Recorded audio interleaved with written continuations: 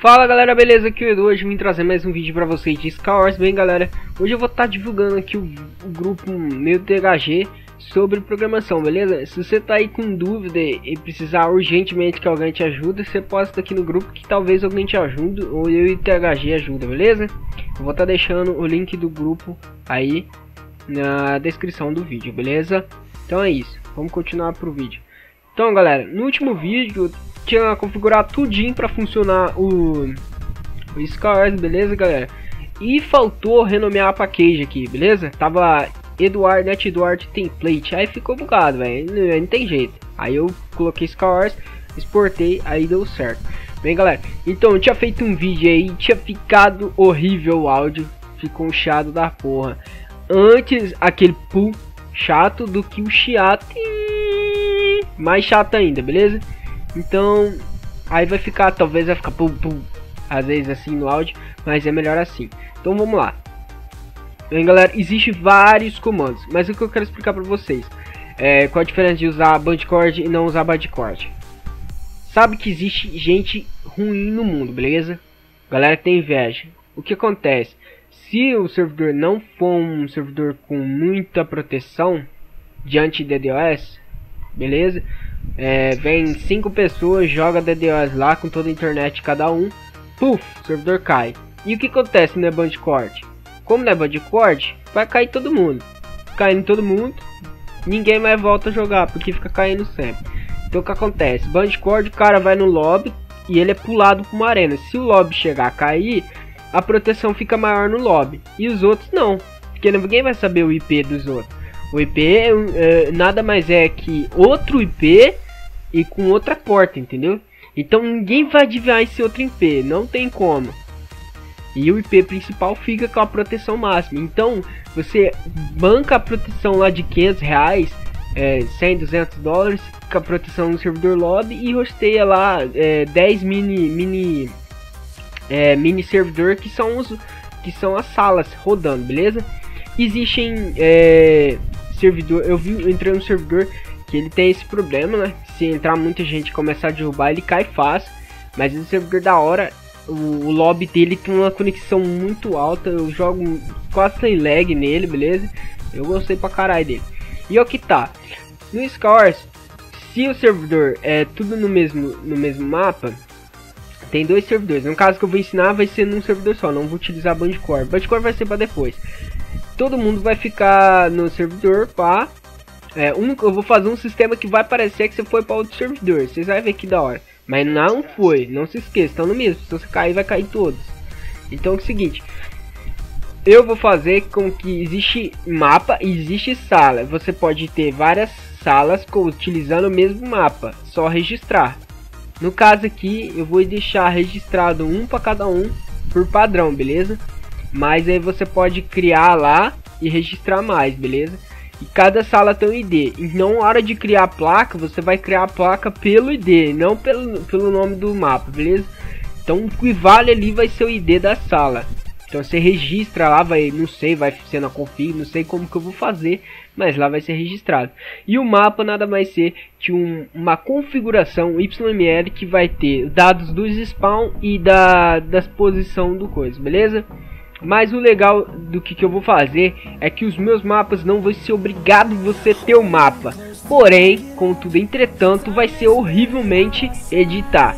Porque editar você vai ter que ficar fazendo setups, beleza? Toda vez que você querer editar aquele mapa tal, é, você vai ter que, por exemplo, um exemplo de coisa, você vai ter que é, entrar nesse mapa e pá, aí você vai ter que é, digitar um comando barra update depois de você editar. E esse comando ele vai fazer atualização dos blocos na config. Não na config, no servidor, mas depois o servidor desliga e salva na config. Porque eu vou fazer um save único para reduzir lag, beleza? Imagina se toda vez que editar tem que ficar salvando. Então salva uma vez só. É mais o caso você pode fazer o barra save, que salva para você ver como que ficou. E o que eu vou fazer, eu vou salvar apenas blocos normais. Tá, galera?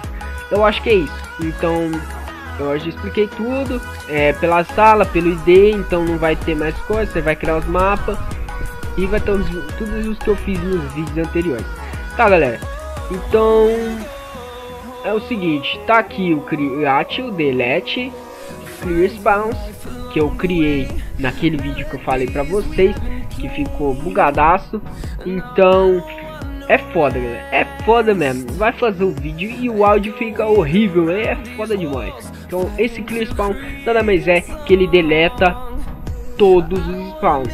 Como o spawn é uma lista, é uma array list, então ele utiliza o método ponto .clear aqui, beleza? Que é muito simples e você deletou todos os spawns, a mensagenzinha. Tá. O DD spawn, ele é muito simples. Ele segue a sequência do delete, é igualzinho. Só que a diferença é que na hora de adicionar o spawn, ele pergunta se quem fez o comando é um jogador. Então, o cara pode digitar a barra DD spawn no lobby, só que na hora que ele digitar DD spawn no nome da arena, ele já não vai conseguir. Porque precisa ser um jogador. Ó, comando para jogadores. A mensagem aqui. Beleza? Então é isso.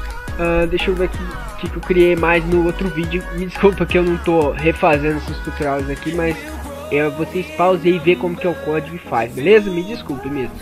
Então, o barra lobby, ele é obrigado que você seja um jogador. Você não pode digitar barra lobby no console, beleza?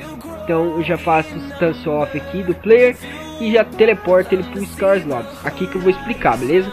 Ó, Scars é aquela sala, aquela classe principal. E nela eu criei uma localização chamada lobby. E eu atribuí por padrão o primeiro mundo dos mundos, ou seja, entre, entre aspas, o mundo Word. Só que eu peguei de outra forma, beleza? E peguei o spawn dele, para não ficar com valor nulo, beleza? Para não ficar dando erro no console se você não setou, beleza? Então eu criei lá, vamos voltar para o Scars Command. E agora ele teleporta direto, sem perguntar se foi setado, se existe, beleza? Porque tem já o, o valor padrão. Aquele sistema de pegar spawn padrão ali, ele funciona certinho. A não ser que não existe mundo nenhum. Que é no caso que isso jamais vai acontecer, beleza?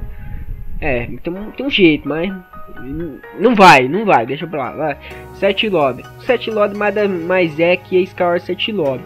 Mas como que você fez para criar esse get lobby, set lobby, galera? Toda vez que você passa o mouse em cima numa variável que é privada, ela aparece a opção de gerar getter série, beleza? Eu vou estar tá apagando aqui para vocês ver, ó. Ó. Viu? Getter série. Tá bem, bem pequeno, bem pequeno, mas é o verdinho aqui, a setinha verde. Aí você clica nela e pá, clica em OK, beleza? Ele vai gerar aqui. Aí ele gira esses gira, gira, gera esses dois métodos aqui que seta deleta o mapa o lobby. Então é isso. E o nosso querido help, que é, beleza, pá, beleza, aqui. Deixa eu colocar aqui 7 lobby. Não, não vou pôr não. O help, o help só precisa ter uma base, né? Eu não vou ficar criando tudo. E galera, hoje eu vou estar tá criando o sistema setar a posição mais alta do, do mapa, né? Barra é, pós 1. Eu não vou utilizar com, com 7, beleza? Eu vou utilizar 7 pós 1, 7 pós 2 que é só pra você salvar uma localização pro mapa para ficar identificado ali, beleza? É, vamos lá pro que interessa.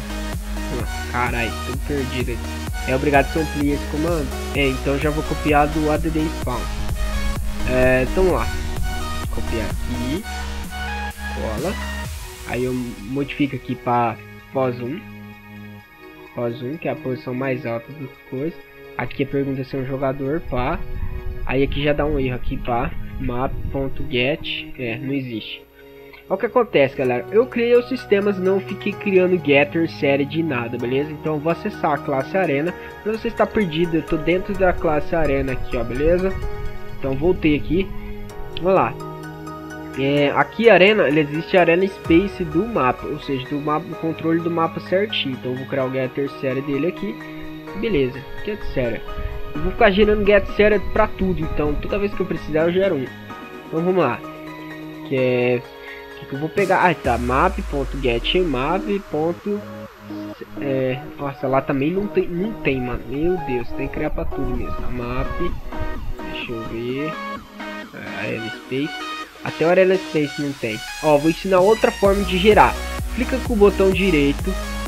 É, source getter, gener, generate getter series. Eu acho que eu cliquei muito rápido, talvez vocês não conseguiram ver direito. Faz o vídeo. Uh, agora beleza, gerou tudo aqui quando eu cliquei no OK. Nada mais é criar tudo na mão, mas você cria automaticamente com a ferramenta do Eclipse. Vai ficar sofrendo aqui. Vai, volta lá o comando. Pá. Getmap.set pós 1. Beleza? Pós 1 nada mais é que a localização do player. Por isso que precisa ser um jogador. Então você setou a posição é, primária posição do mapa. Beleza? Aí ó, GG, o legal desses comandos aqui, galera, que dá Ctrl V aqui, eles são tudo copiáveis e coláveis, né? Então copia aqui, cola ali, ó, copia aqui, troca por 2 aqui, posição baixa, nada a ver, aqui troca por 2. É porque eu fiz tudo parecido. Então é isso. Isso vai, vai fazer com que eu sete as configurações aqui, a posição 1, posição 2, para depois automaticamente, a hora que eu digitar o comando update, um exemplo, um comando qualquer, ele vai ler, é, ler essas informações do ponto A até o ponto B e vai salvar todos os blocos que não seja bloco do vento. E aí que tá, galera. É, eu vou estar tá deixando essa parte aí nos comentários. Vocês decidem é... Não, não. Não. Existe um tutorial que eu fiz sobre é, pegar blocos do ponto A para um ponto B, que é o tutorial do comando barra barra 7. Bem, galera? Então eu vou pegar o negócio pronto. Me desculpem se você estiver com dúvida, eu vou estar tá deixando o link na descrição. É, como que faz aquele negócio lá, porque é, demora pra caralho, não é fácil não, tá? E com esse método aí, nós vai poder é, gerar, é, precisa pegar todos os blocos que não é branco, ou que não é bloco do ar, beleza? Mas agora, finalizando o vídeo, eu vou estar tá testando para vocês verem, tá? É foda esse abaixo, mano. Demora 5 segundos pra entrar no servidor toda vez, mano. Vamos lá. CW Help. Ó, apareceu o rap todo bonitinho. Tá funcionando. Oh, barulheiro aqui. Ah, tá. É, CW Help. Create. Teste. Beleza, criou, tentar criar de novo, falou que já existe, beleza? Vamos lá, criar o teste 2, funcionou. Deletar o teste, tentar deletar o teste de novo, não vai, beleza? Agora SW7 pós 1 no, no teste, beleza? Ah, 7 pós 1 não, é barra pós 1, caralho. Não existe scores, agora o teste 2 vai funcionar, ó, setor posição alta. No setor, ele não vai perguntar se existe setado, porque ele sempre modificar. O set é uma, é uma modificação, entendeu? Não é que nem um criar e deletar, que você cria e não pode ficar criando de novo. Então, criou, beleza, não pode criar mais. Agora o set e o delete sempre vai estar tá modificando. E nisso vai existir o mínimo players, o max players, entre outros então, galera. Espero que vocês tenham gostado. É, deixa eu mostrar o, o do posição 2, que é a mesma coisa. Aqui muda aqui. Só que a posição baixa. Eu estou fazendo um debug aqui para vocês ver quem está realmente atribuindo valor mas pode ter certeza que está atribuindo valores variáveis sim, então não esqueça. Então foi isso galera, se vocês gostaram do vídeo, deixa um like favorito, se inscreva no canal e até o próximo vídeo. Falou!